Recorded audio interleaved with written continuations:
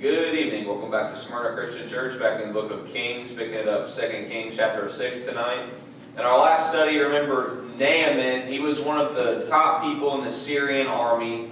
He had leprosy, and a few things happened that brought him to Elisha, the prophet of Israel. And God healed Naaman. And that and Naaman was actually converted. He wanted to only worship the true God. And We've seen many times that that would not be the case. People would see the miracles of God be performed, but they just go back to serving their own little idols, that little sticks, or things that don't even exist.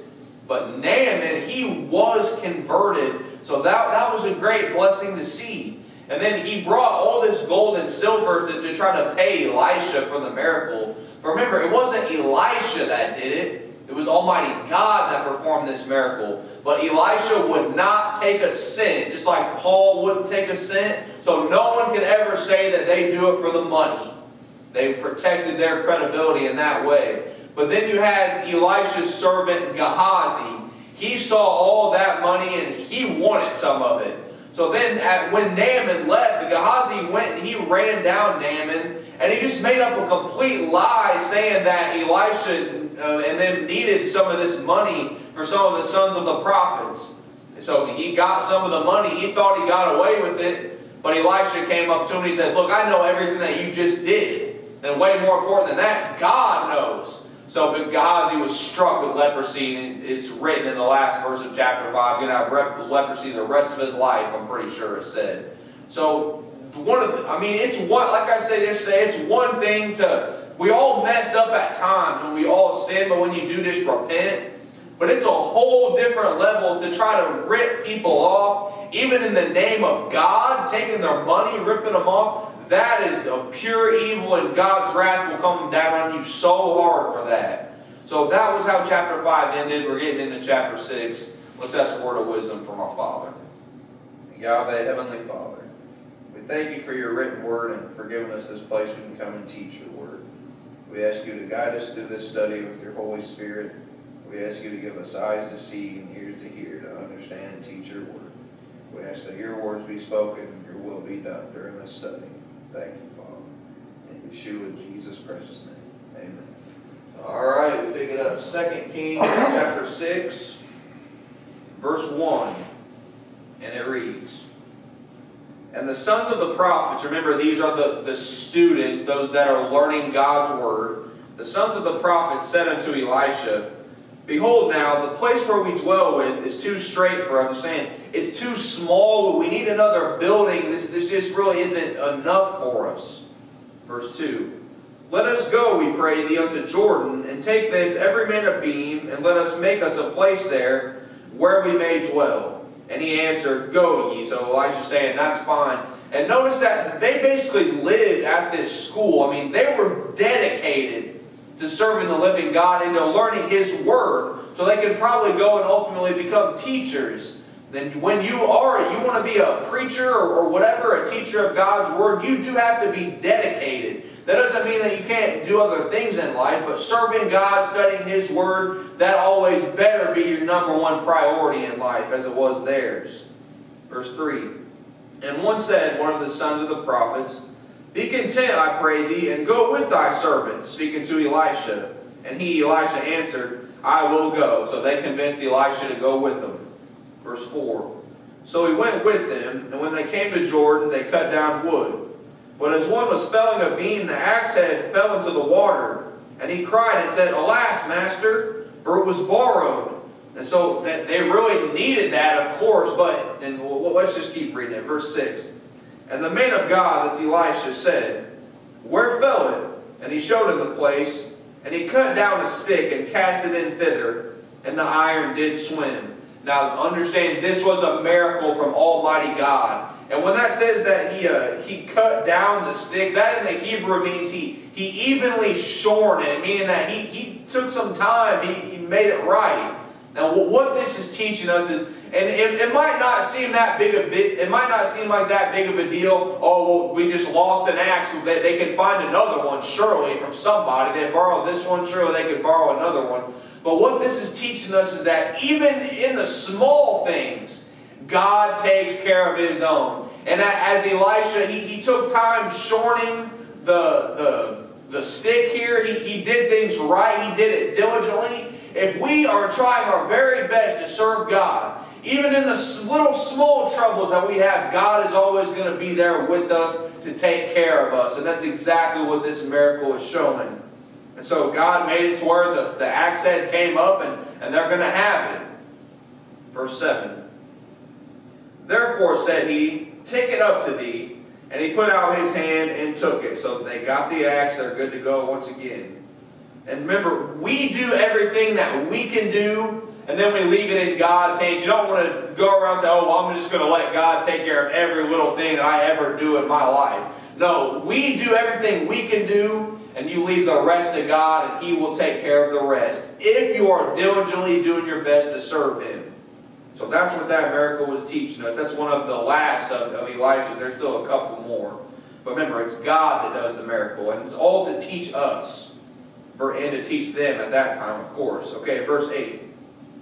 Then the king of Syria warred against Israel and took counsel with his servants, saying, In such and such a place shall be my camp. So he's trying to find a place to camp out so he can go attack Israel.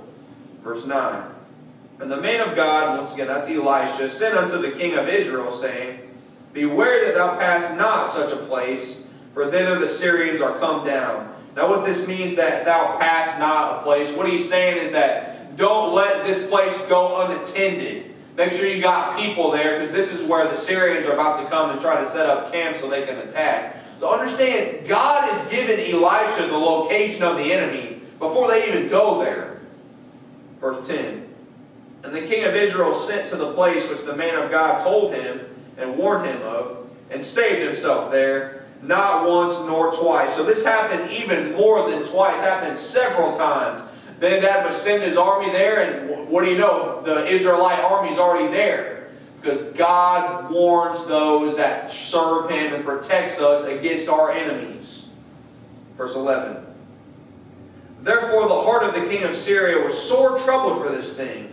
And he called his servants and said unto them, Will you not show me which of us is for the king of Israel? See, he thinks that he's got a traitor in his midst. Because he's thinking the only way that the Israelite army could be in all these places is one of you guys had to have told him.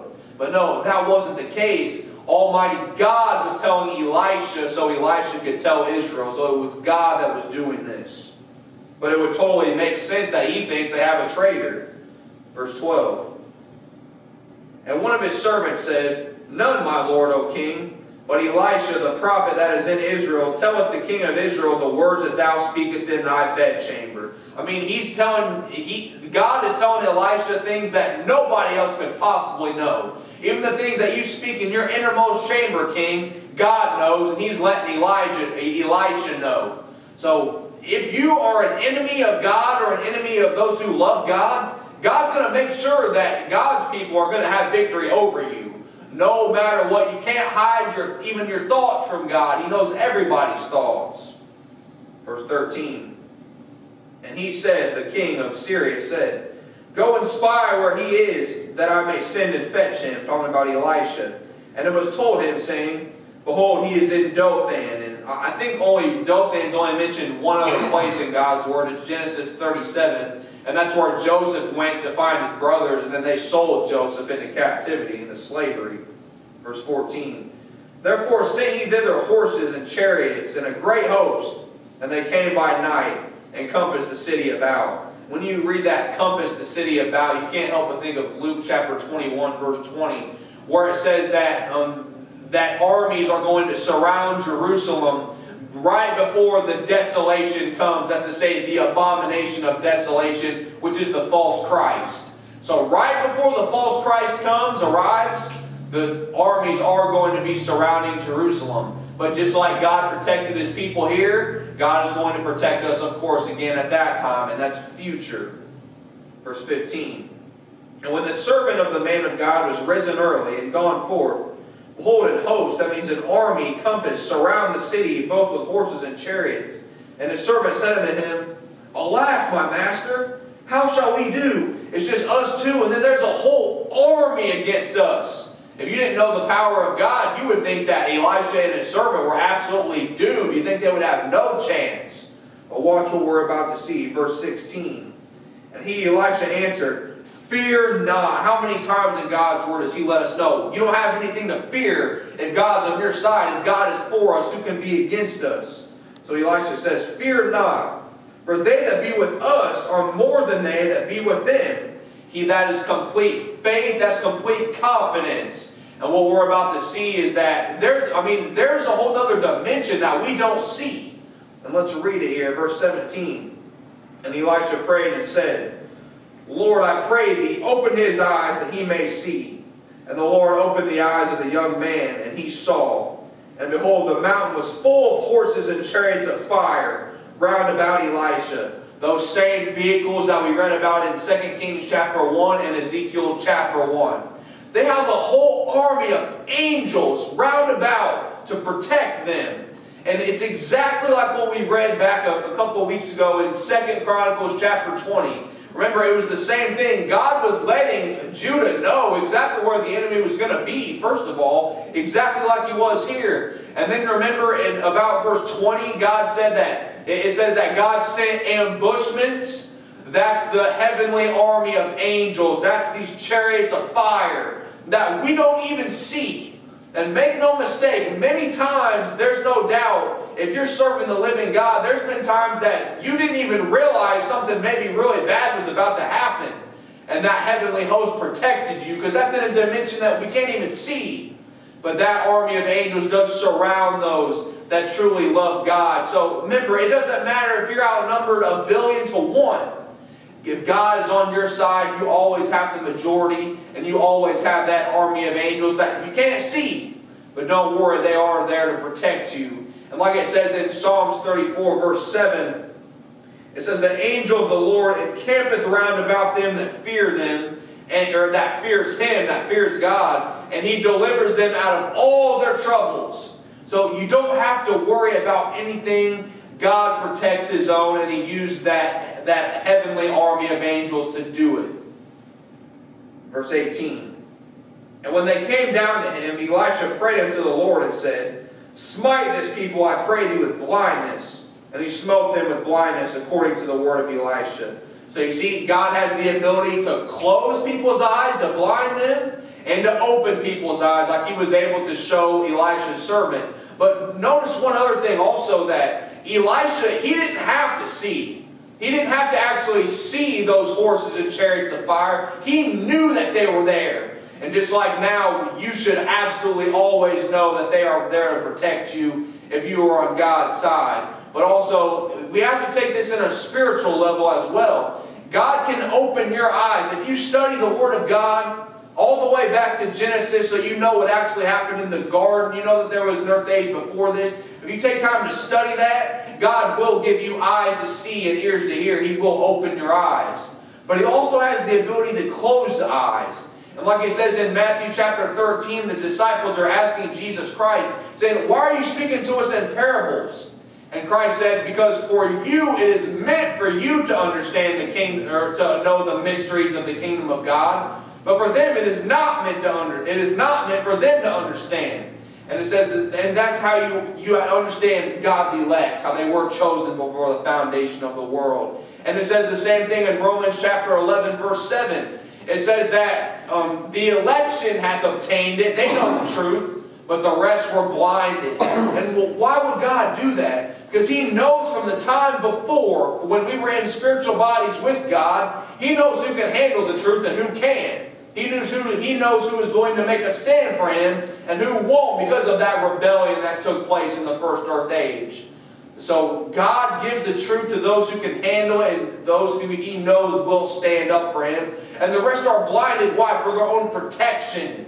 So even if they are deceived, they can't have that opportunity in the millennium, that thousand year teaching period. So God can open eyes and He can close eyes. And your eyes are never going to be open if you don't take time to study God's Word. But so, okay, now, so God smote this army with blindness. Let's see what happens next. Verse 19. And Elisha said unto them, This is not the way, neither is this the city. Elisha's telling them, this isn't how you're going to find Elisha, but he is Elisha. That's who, they're looking for him. And he said, oh, you're not going to find him here. Follow me. I will bring you to the man whom you seek, which they're looking for him. But he led them to Samaria. So you see how God, God makes a way. Verse 20. And it came to pass, when they were coming to Samaria, that Elisha said, Lord, open the eyes of these men that they may see. And the Lord opened their eyes, and they saw. And behold, they were in the midst of Samaria. 21. And the king of Israel said unto Elisha, when he saw them, My father, that, that means my counselor. Even um, Pharaoh would call Joseph his father in Genesis 45. But that just means that he's his counselor. So my father my counselor, shall I smite them? Shall I smite them? I mean, the king of Israel, he's really just, just wanting to kill them all. But look what Elisha says, 22. And he, Elisha, answered, Thou shalt not smite them. Wouldst thou smite those whom thou hast taken captive with thy sword and with thy bow? Set bread and water before them, that they may eat and drink, and go to their master. And you can't help but think of Romans chapter 12, verse 19 here, when it says, Don't take the vengeance upon yourself, let God take the vengeance. And it says, Give your enemies water to drink, give your enemies food to eat, and by doing so thou shalt heap coals of fire on their head. And so let God take the vengeance. And it says also, don't be overcome with evil, but overcome evil with good. Verse 23. And he prepared great provision for them. And when they had eaten and drunk, he sent them away, and they went to their master. So the bands of Syria came no more into the lands of Israel. That's the marauding bands that we read back of in, at the beginning of chapter 5, how they're just going around trying to rob people, trying to attack people. So there's not going to be any more of that. But as we're just about to see, Syria is still going to be at war against Israel. Verse 24. And it came to pass after this that Ben-Hadad, king of Syria, or king of Syria, gathered all his host, all his army, and went up and besieged Samaria. Now, you see, this would not be happening if Israel would just turn to Almighty God. If they would repent of the idol worship and they, they would just serve God. Because what does it say in Proverbs chapter 16, verse 7? God says that when a man's ways please the Lord, God even makes his enemies to be at peace with him. So you see, but then if you go against God, you serve idols, says God, He will raise up an enemy against you. So that, that's exactly what's happening here. And that's you can also read that in the you have in the Leviticus chapter 26, you have the blessings that God will give you if you serve Him, or you have the curses that God will put on you if you go against Him. And that's what it says in Leviticus 26, 17. It says that, that um, God will set His face against you if you go against Him. He will raise up enemies against you. Verse 25. And there was a great famine in Samaria and behold, they besieged it until an ass's head was sold for fourscore pieces of silver, and the fourth part of a cab of dove's dung for five pieces of silver. And that dove's dung, that's probably referring to a, a certain type of vegetable that was just so gross that, that it pretty much tasted like dove's dung. That's probably what that's talking about. But once again, Leviticus chapter 26 and verse 26, it lets you know you want to go against God, there's going to be famine. And when you read about famine, you can't help but think of Amos chapter 8, verse 11, where God says the time's coming that there's going to be a famine, but it's not for bread, it's not for hunger, for bread, or for thirst of water, but it's for hearing the words of the Lord. Because so many churches, they decide that they got more important things to do, more religious things to do, than teach God's Word exactly as it's written. And it just keeps getting worse and worse. So that famine it's on. Like I said, it's going to keep getting worse. Verse 26. And as the king of Israel was passing by upon the wall, there cried a woman unto him, saying, Help, my lord, O king. And I mean, I guess it's okay she's asking the king for help, but who should she really be asking? She should be asking God for help. But Israel, they just, the ten northern tribes, they just couldn't get it through their head. If they would just call out to God, He would listen to them. And that's what it says in Deuteronomy chapter 4, verse 29. It says, If you seek God with all your heart and soul, you will find Him. And when you're in tribulation, if you turn to Him and be obedient, He is merciful and He will not forsake you. So just turn to God. If once you repent of your sins, God erases them. And you're back in good standing with Him. So if they would have just turned to God, everything thing would have been just fine. But they kept deciding to do everything else but that. Verse 27. And he, the king, said, If the Lord do not help thee, what shall I help thee? Out of the barn floor, out of the winepress? He's saying, I don't have anything out of the barn floor, out of the winepress to give you. And notice, what is the king really doing here? He's blaming God. That's the, one of the biggest mistakes you could ever make, and we're going to talk about that a little more by the end of this chapter. Verse 28. And the king said unto her, What aileth thee? And she answered, This woman said to me, Give thy son that we may eat him today, and we will eat my son tomorrow. I mean, crazy, but that's what they did. They actually did that. Verse 29. So we boiled my son and did eat him. And I said unto her on the next day, Give thy son that we may eat him. And she hath hid her son. And guess what? This is also written in Leviticus chapter 26, verse 29. It says, You're going to eat your own children. God's going to put that curse on you to where that's how crazy you're going to go without God. God knew that's what they would do. And guess what? That's exactly what happened. Understand, it's not God that made them do it, but they just went so far away from God, so far out of their mind, that they ate their very own children. And you can't help but think of that on a spiritual level that when the false Christ does arrive, it says that your own family members, your own parents, or your own children will deliver you up to the false Christ. Remember, that is your destiny because it's your job to allow the Holy Spirit to speak through you. Verse 30. And it came to pass when the king heard the words of the woman that he rent his clothes and he passed upon the wall and people looked. He's just doing this for people to see him. And behold, he had sackcloth within upon his flesh. He didn't go into an inner chamber and, and mourn and repent. No, he did it on the wall so everybody could see it. Just wanting to be seen of men. And we've talked about it a couple times recently. I'll say it again. Matthew chapter 6, verse 5. It says, if you go, you want to stand on the street corner and just say all these long prayers so you can be seen of men. It says you have your reward. You're not going to get any reward from God but he's only doing it to be seen of men. Verse 31.